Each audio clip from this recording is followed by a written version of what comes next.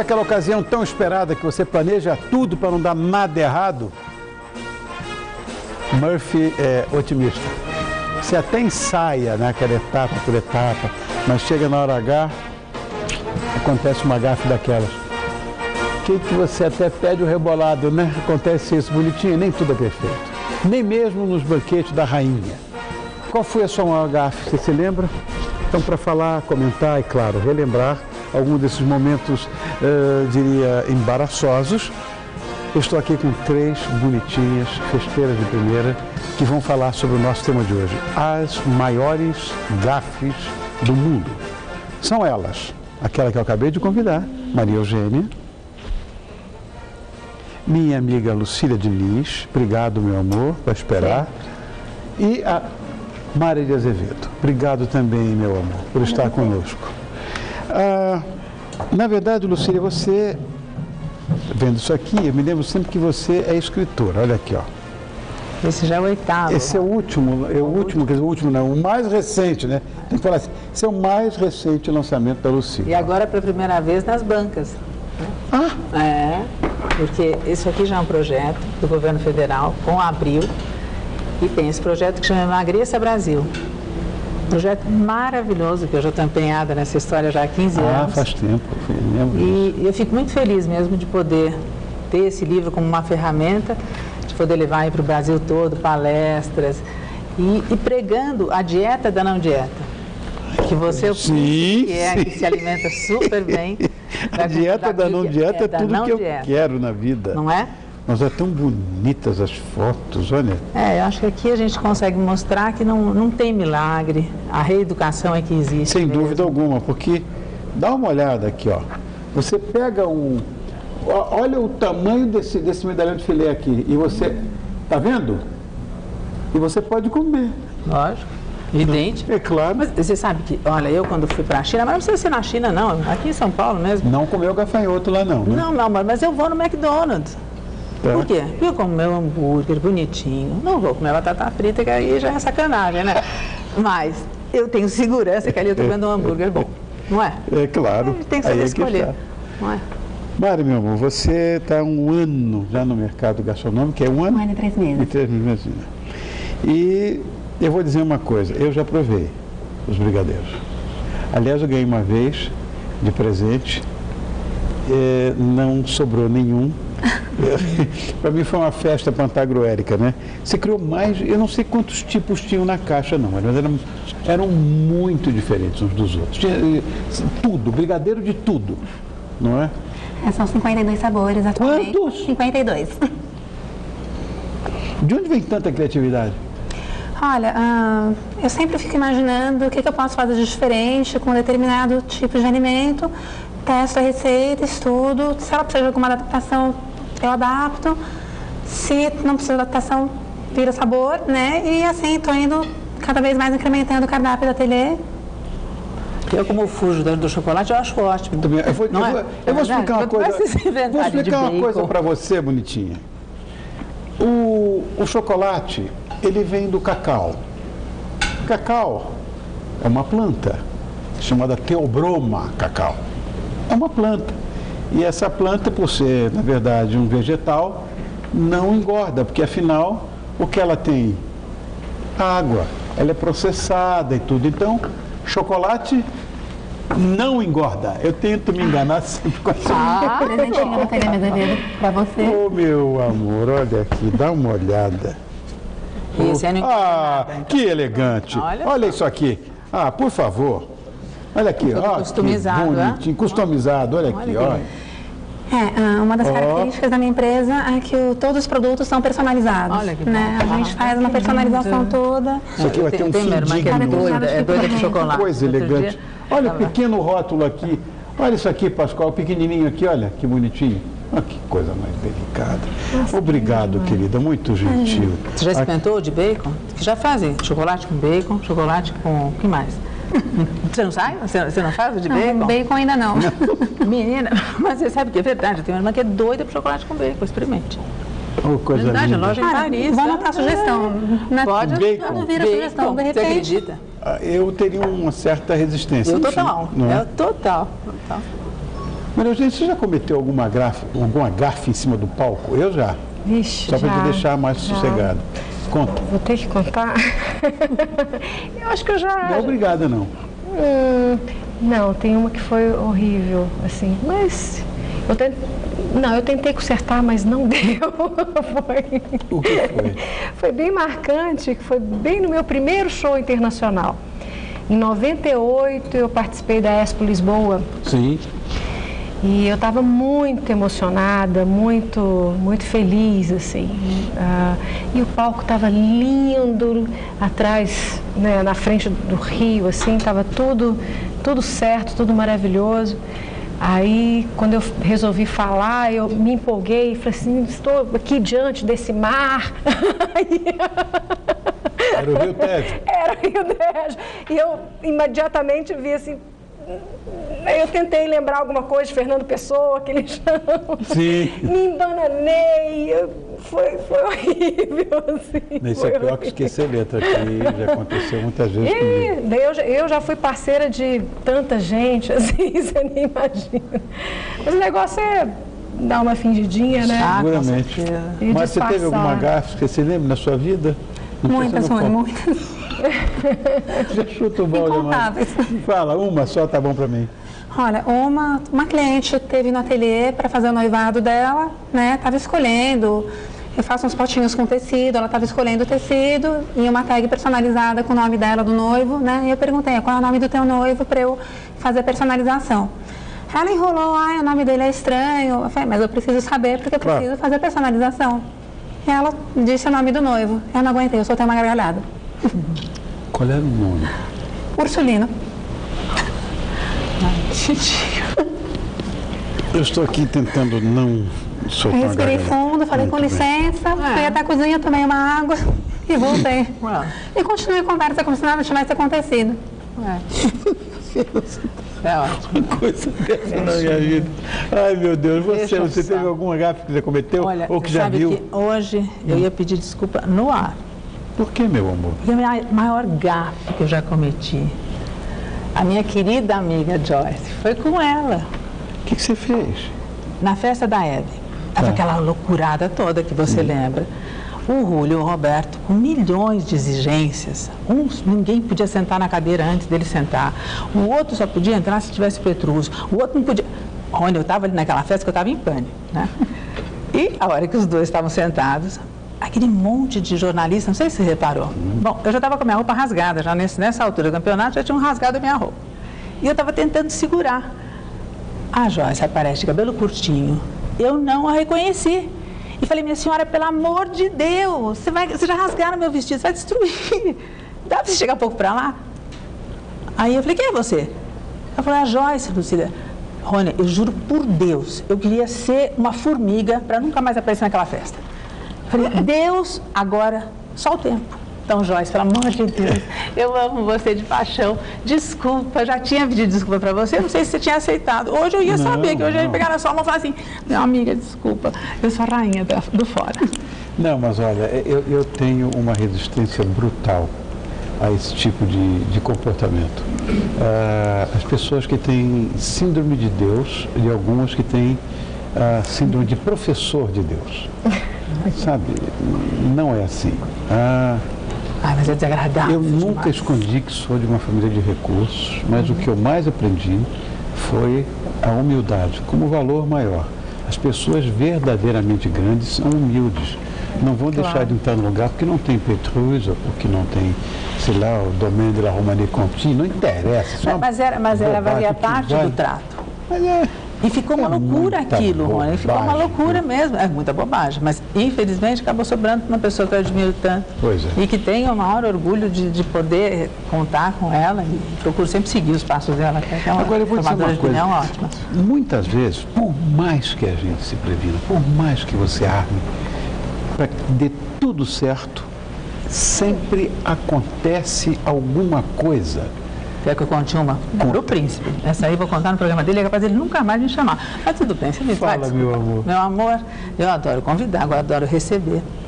Fui com a minha turma toda, passear, levei todos Vocês foram para Ibiza, você me falou. Nós foi isso. Aí estávamos lá. todos tranquilos, sossegados. Ninguém fica tranquilo em Ibiza. Não, ninguém fica, né? Não, mas você sabe que eu já tinha ido três vezes para Ibiza, com meu terceiro marido, e nunca soube que tinha balada lá. Nossa. E dessa vez o pessoal até acreditou em mim. Não, você vai num hotel mais reservado, o seu inteirinho de lá é calmo, é tudo calmo. Bom, você, você não faz ideia. Estávamos lá por. O nosso, pegamos quartos todos entreligados, para ficar com uma suíte enorme, era a suíte presidencial, e mais dois quartos juntos. Um dos banheiros entupiu e voltou toda aquela coisa que vocês podem imaginar do hotel inteiro. Entendeu? Isto ficou inundado todo o nosso apartamento. E eu convidando todos eles juntos. Você pode imaginar? Literalmente, nós estávamos com o cocô a 10 centímetros já do chão. Eu já estava fazendo já leilão de sapato, né? Ai, meu sapato! Deus do céu. Verdade. E olha, é a segunda vez em Aspen com os meus filhos, com amigos dos meus filhos, a mesma coisa, entupiu inundou toda a suíte. Será Algo existe-. É, Com toda certeza. Será que existe algum manual para prevenir gafes? Vocês conhecem algum? Não? De jeito nenhum. Não, não é Amenizar, É, admitir, rir dos próprios, né? talvez. Olha, ah, Acho que você estudar o território do local onde você vai, evitar falar demais para não cometer alguma gafe, não evitar ser indiscreto, evitar perguntar demais. Mas acho que é até engraçado. Então, você fica aquela coisa toda quadrada. Eu, é verdade, eu estava contando para a Débora da história de Aspen com a Giovana, com os meus dois filhos, e com os amigos, que estávamos todos no hotel. E quando de manhã acordamos, tinha também de novo o, o refluxo da privada, do chuveiro, de tudo, voltou e inundou todo o quarto. No dia seguinte, agora acontece no nosso, você acredita? Então, por isso que eu acho que essas gafes, que é gafe do hotel para com a gente, né? Claro. Não tem, não tem nem o que que falar. pra você gente tem que sim, né? dar Não frequentar risada, você tem que dar hotel, risada. né? Não, acho que não, sabia? Eu acho que não, verdade. Eu acho que não. Porque essas coisas acontecem. Atrai. E o mais engraçado é que eu falava para o homem assim, não, eu não vou sair daqui. De jeito nenhum. Porque essa- isso aqui não me pertence, entendeu? E se eu for para outro quarto, vai ser igual. Rony, olha, na sua, no seu programa, falando uma coisa feia dessa. Você Bom, me perdoa? Imagina. O príncipe da TV. Ah, por favor. Não, o príncipe nunca perde o remédio. O diplomata do seu pai iria me puxar a orelha, né? Ai, meu Deus do céu. Agora, ah, você, bonitinha, que fica azul, de repente, por uma barbaridade que você cometeu e não sabe como, como Maria Eugênia, eh, aqui neste mar não existe, não existe Fernando Pessoa, não existe Camões que possa resolver. O Papa da literatura portuguesa não vai ajudar você. Agora, eh, o momento desse embaraçoso, se acontecer, o que, que vocês fazem? Tipo essa, neste mar, como uma vez, um amigo meu foi fazer um show numa cidade e trocou o nome. É, Era muito parecido. Não vou nem dizer. Bom, vou falar o nome da cidade. Ele estava em Itatiba, falou Atibaia. Ficou uma coisa bastante complexa. Como consertar? Não tem jeito. Gente, dá risada. Paciência, pedir desculpa, opas, me confundi, me per mil perdões, Atibaia e bola pra frente. Mas escuta, quando eu cozinhava, fazia o note a note, mas eu cansei de, sem querer, em vez de sair o pão duro, me passa o pão duro, Claudete, me passa o pão duro, mas várias vezes. E conserto tem.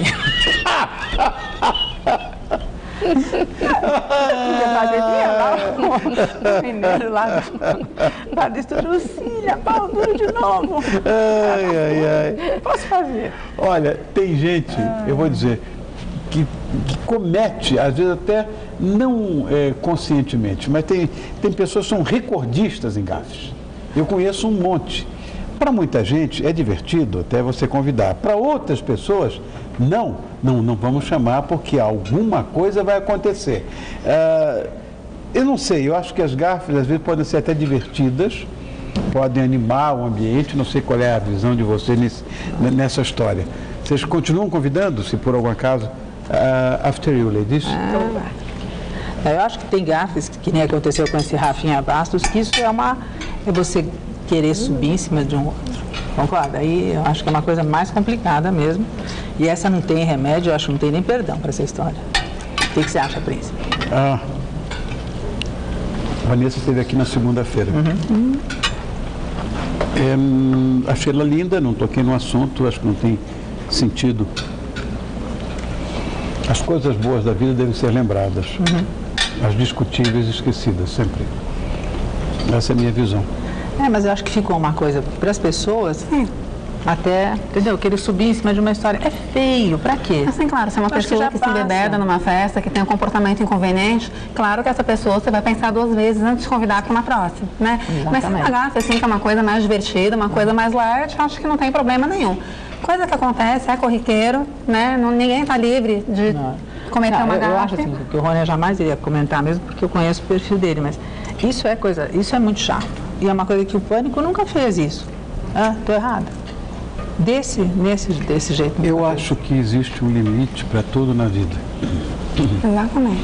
Eu sei que nós vivemos um país triste, que tem problemas, que tem uma carga tributária injusta, que você paga para não ter saúde, para não ter educação, para não ter segurança, tudo isso tem que ter pessoalmente. Se você se não tiver um se não tiver um plano de saúde, você morre na fila do INSS. Se você não tiver um carro blindado, tiver uma coisa um pouco mais, eh, sei lá, tiver um pouco mais de, sei lá, de status social, um carro bonito, você corre o risco de ser fuzilado no trânsito. Se você colocar seu filho numa escola pública, ele, entra, ele sai mais burro do que entrou. Tudo isso nos deixa, de certa forma, constrangidos, até inconscientemente, nós brasileiros, mais tristes. Então é preciso que exista amor. Mas há um limite até para isso também, eu acho. Ah, com certeza. Sabe? É Com certeza. porque E que a gente possa ficar tranquilo com esse humor. É, é, eu não sei. Que de repente, o brasileiro tem muito disso. Acha que tudo pode. Artista principalmente. Eu tenho poucos, raríssimos amigos artistas. Porque existe essa atitude comportamental. Eles podem tudo, Tudo pode. querem tudo. Sabe, é, é complicado. Essa aqui, por exemplo, faz catering para Paul McCartney, para Madonna, para U2. Eu tenho certeza que esses caras não pedem o que de repente eu vi eh, na minha época, eu cantava. Quero 48 toalhas brancas, 25 dúzias de rosas da Indonésia, não sei o quê. Gente, que estupidez, estão lá para trabalhar. O, que- o máximo, e os caras vão rigorosamente no catering que a pessoa pediu. Que tem essa frescurada toda. O meu catering. Água mineral com gás para mim e para a banda pode ser. outro. E uma garrafa eh, térmica de café. Quando eu abria meu camarim, Dom Perignon, Beluga Malossol, escalope de, de foie gras. Por quê? Porque eu não pedia nada. Então os caras me davam tudo, até para se vingarem dos outros. É uma bobagem isso, meu Deus do céu. É até Agora, uma segurança isso, né? Uma coisa Mário uma falou do bobagem. negócio de beber demais. Tá, eu acho que beber demais. é, aqui eu tenho um pouco de dificuldade também. Alface no dente, vai. Já que foi falado de banheiro, vou falar agora de alface no dente. É, é, chamar, eu já vi esse tipo de coisa, meu Deus do céu. Chamar o seu ex-bonitão. Ah, isso é terrível. Errar nome é muito complicado. Na hora H é pior ainda. Nossa, eu olha, dei uma em Angra. O, o Hulk passou com a lancha dele, passou com a lancha assim bem rápido. Eu falei, ele deu tchauzinho, eu falei, manda um beijo pra, pra Eliana. Ele, ah, quando eu encontrar eu mando sim. Troquei as loiras, né? Lógico, né? Tá. E ele toda vez que encontra comigo, eu falo, ainda não encontrei. Meu Deus. Olha o programa que você me mandou e eu vi. Com a Joyce, que foi uma maior gafe. Esse é do Hum. Hulk, ele brinca comigo até hoje. Ainda não encontrei a Eliana. Não, E a Angélica também já brinca. Essa eu acho que é uma gafe perdoável. Agora, imperdoável é você estar com a sua bonitinha e trocar o nome dela. Ah, mas também não é imperdoável, vai. Aí é complicado, não? Você não acha? Ah, eu não sei. Nada é imperdoável. Eu concordo com você, Rony. Você acha? Ah, Se meu, marido, se meu marido trocasse meu nome, eu acho que ele apanhava. Senhora. Ah, mas eu sei, eu sei que não sonha, não sonha com a secretária, muito trabalho. Não? Não, uma não, pena. não pode. Tá bom, não. Você também não? O quê? Imperdoável? Não, eu, eu acho que nada, como você, eu acho também que nada é É, imperdoável. eu, também acho. eu acho que o perdão é, existe para que ele seja exercido, né? Eu perdoo tudo. Até porque também já me trocaram o nome. É, e por uma coincidência, É. me chamaram fui de eu, né? Ronaldo. Ah, Não, tá bem, me chamaram de. Ronaldo. Nem minha mãe me chamou de Ronaldo. Meu apelido sempre foi Rony, desde pequeno. Mas meu nome é Ronaldo. Aí eu disse, opa, estamos trocando o nome já. Disse, Por quê? Seu nome não é Ronaldo? Essa foi a desculpa mais impecável que eu vi na minha vida. Foi mesmo. Isso é perdoável. Lógico. Claro. Agora, o pior é quando aquela amiga de vocês comete aquela gafe, você presencia, fica com a vergonha alheia, ou seja, você mesmo se constrange e não ela. Você fala alguma coisa ou não? Vocês falam Se for, coisa? se for a tal da alface no dente, tá eu dou um cutucãozinho Quando a gente assim, tem ah, bastante vamos intimidade com a tirar, né? pessoa, dá, dá pra falar, É, né? Agora, outra coisa não. Máxima alface no dente. Não vão falar qualquer outra coisa, né? Nem pensar. Deixa quieto. Eu Acho que hoje em dia, acho que as coisas. É, tudo passa e fica tudo muito mais gostoso. Acho que se a gente reforçar os erros. Você acabou de, você acabou de me ensinar. Reforçar os nada, erros sou eu? aparecem mais, não é? Eu sou um eterno aprendiz, não ensino nada. O que eu, o que eu acho na vida, O seu programa é um que a gente assiste para aprender. Então, quem isso eu? você tome cuidado sempre, porque é uma verdade. Coitado Você de sabe mim. Olha, na, na verdade, eu acho que nós temos todos um comprometimento. Nós que trabalhamos com comunicação, nós todos aqui, de uma forma ou de outra, trabalhando com comunicação, nós temos esse comprometimento com a cultura nacional, com a educação, com o social, com tudo. Isso é dever nosso, a gente tem que fazer isso. Né? É que ninguém deixa. Eu- eu- seria uma coisa extremamente complicada você ter que fazer algo que você não gosta para sobreviver. Isso é muito duro, muito duro. Com certeza. Você poder optar por aquilo que você gosta, você vai fazer com prazer. Eu, por exemplo, não me drogo. Então eu tenho meu ópio aqui. Toda noite eu estou aqui me divertindo. Aí chamam de trabalho. Trabalho é eu na minha agência de propaganda, feito um louco, os clientes me cobrando, as campanhas todas complicadas, reunião às sete da manhã, que aliás tem uma manhã às sete da manhã. Eu vou dormir de madrugada, durmo duas, três horas por noite. E fica bem? Porque ontem eu escutei o João Dória falar que fica um príncipe. Três horas, você viu? João, É. você vê que nós não estamos sozinhos nessa, né, campeão? Um beijo, João. João é meu querido irmão. Teu outro vizinho, príncipe. Teu vizinho, vizinho teu vizinho. príncipe. Mas ele está dormindo três horas por noite. né? Eu- Olha, eu- aí tá eu lindo. eu Você também? Também. Três? Três. Aí você fez, vocês se educaram como? Não, não me eduquei. Eu, também não choque, sou mas com workaholic horas, como ele, sabe? também Ah. não sou workaholic como ele. Mas por que, que você acorda? Não sei. Ah, já tentei tudo. Qua- Outro dia eu dormi cinco horas, não acreditei, dormi cinco Ai, que horas. delícia, que. Ah. coisa, cinco. E as pessoas dizem, eu sem oito não sou nada. Eu Mas se sente cinco melhor, tem gente que realmente precisa de menos, De me- é, menos de tempo, menos, é. não, Não, tem, eu não tem problema. isso. Como é que a gente descobre, eu, né? Eu não sei. De repente, Eu vou dizer, eu gostaria de dormir mais. Eu honestamente gostaria. Não você sente falta então? Ah, você se sinto. acostumou por causa de circunstâncias, mas Eu sinto falta. Eu Você sente de, falta? o corpo eu acostuma. gostaria de, de- de dormir mais. Gostaria mesmo. Mas aí não consegue. Não, eu cometo a gafe de acordar mais cedo do que deveria. Nossa. E vou dormir tarde. Você gosta de acordar cedo, Costuma, não dá né? certo, não. Você vai para uma Somos casa de dois, alguém, então. né, de algum convidado, e acorda, também. dorme três horas, vai pegar a dona da cedo. casa varrendo. Não consigo É, Também não se faz isso. Verdade. tanto Aprendi muito. mais um pouquinho. Eu também. Beth Scarpa, olha, aquela é uma lady. A Patsy é um sonho, lá. gosto dela também. Ela gosto é. dela. Aprendi muito com ela mesmo. Bom, minhas menininhas, eu, eu quero só dizer o seguinte, principalmente para você, cometer gafe não é nenhum privilégio, ninguém gosta, na verdade, né? Agora, na minha opinião, você pode se precaver, para dizer o mínimo, nos eventos mais importantes. Então você estuda o terreno, haja com calma, evite comer comidinhas com alface. Ai, meu Deus do céu. E claro, se você cometer alguma gafe, pequenininha que seja, encare a situação com bom humor, como a Mari falou. Que aí pode ter certeza de que tudo vai dar certo. Isso é um conselho do tio Rony. Gostaram? Maravilha. Muito, uma Sensacional. Lindo, muito bem Você- apresentado também. Eu vou dizer, você é insuportável. Não, Você é insuportável. tá certo. Obrigado.